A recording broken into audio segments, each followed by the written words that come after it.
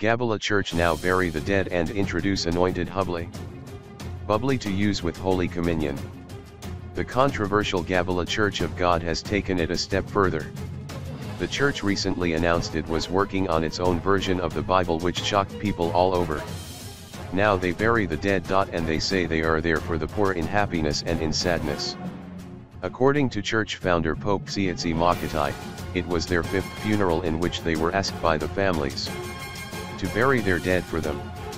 He also added that they had already married two couples who are still happily married.